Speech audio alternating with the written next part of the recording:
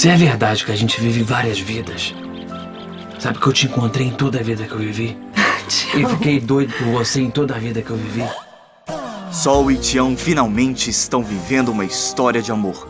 E Alex não desistiu de levar Sol para os Estados Unidos. Alex. Vim te buscar. Hoje, América.